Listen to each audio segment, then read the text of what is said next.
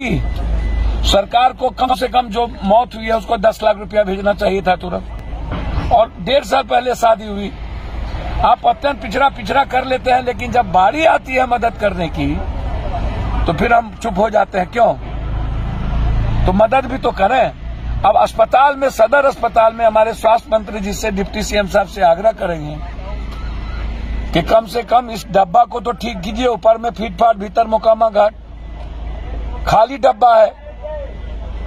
पूरा का पूरा सिस्टम कोलैप्स है। अल्ट्रासाउंड सीटी स्कैन एमआरआई सब बाहर से कराना पड़ता है। दवाई बाहर से लेना पड़ता है।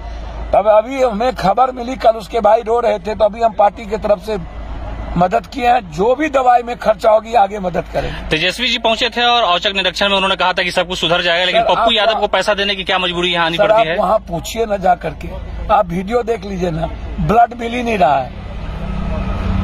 समय लगेगा, सुधार में थोड़ा सा जो चीज़ें खराब हो गई, पूरा का पूरा जहर हो चुका है, उसको हम इतना जल्दी नहीं कहेंगे कि ये ये अलाउद्दीन की चिराग नहीं है कि सब कुछ तुरंत में ठीक हो जाए। प्रयास कर रहे हैं वो, प्रयास में हम ये नहीं कहेंगे कि प्रयास की शुरुआत हुई है, लेकिन ये कंटिन्यूटी रहेगी, तभी जाकर के चीज़ें खत्म हो। और कम से कम दवाई और जो मशीनें हैं, जो जाँच है, इसको तो फ्री करें।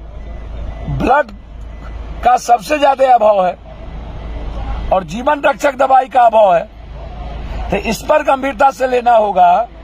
और भारत, नीतीश जी से आग्रह करेंगे, डिप्टी सीएम साहब से, गोली जिनको लगा, आप खुद ही कर रहे हैं गरीब लोग हैं। ये भी भरत यादव है।